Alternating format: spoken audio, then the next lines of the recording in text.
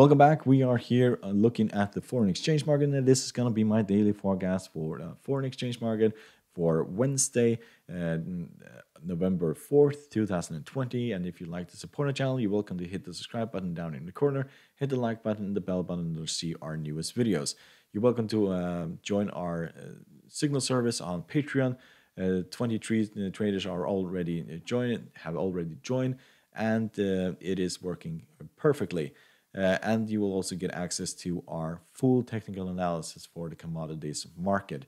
So this was a quite interesting day. So the main reason here is that the US dollar index depreciated significantly. And of course, that had an enormous effect on uh, the US dollar and the Great British pound to spare. If we look at the chart, we can see that we we were up around, well, 1.26%. Gave back a little bit, but we were way past the 50 moving average. We are still pulling back, but as long as we are above these 50 these moving averages, this will most likely go higher. Well, it also depends on whether or not the, uh, the US dollar depreciates more. Um, that is to be seen. It is expected, but it, everything can happen.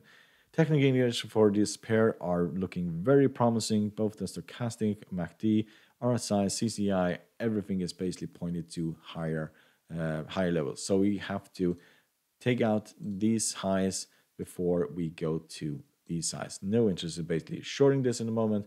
This is going to go higher when you basically look at these technical indicators.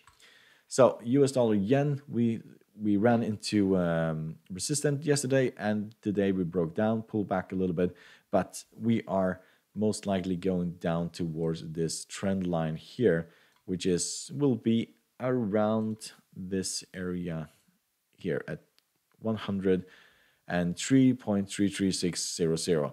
So that is where we're going. We haven't been to um, we haven't tested this line for quite some time. This is all the way back to September, but last time we tested it, but it is just a matter of time. Break below this, and then we go higher.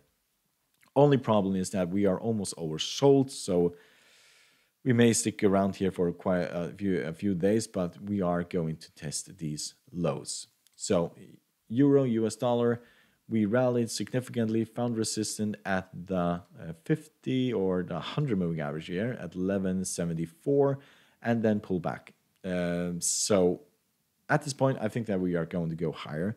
Technical indicators for for this uh, currency pair are very bullish. The stochastic, that's the MACD, the RSI, CCI, everything is pointing to higher levels. So if we break the 50 moving average, that opens the door to uh, these highs around there, 1183, uh, and then to this high of 1188. Uh, after that, we go to the very highs, and that will be significant resistance. No interest is basically shorting this at, the, at this point because of these indicators. They have to turn around in order to basically to um, to short this. But even though if this falls, then we'll find major um, support right here, around there, and then also down here. If you look at the Aussie dollar, US dollar, this absolutely exploded to the upside.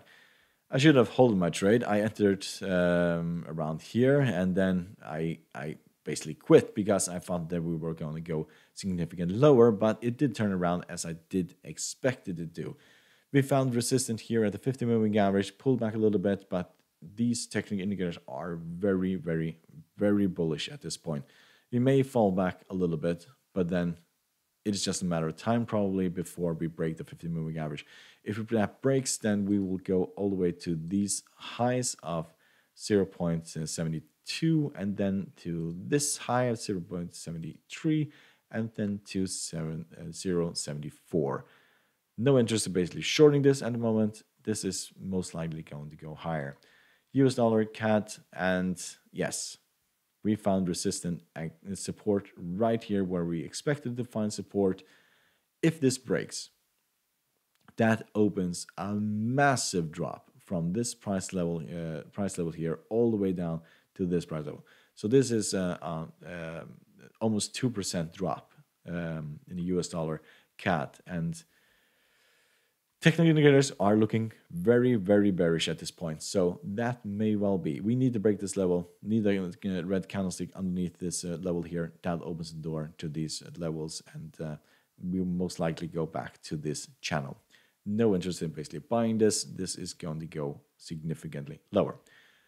So, hope you find this helpful. You're welcome to uh, support our channel by subscribing, hit the like button and the bell button in order to see our newest video, and you're welcome to join us on Patreon.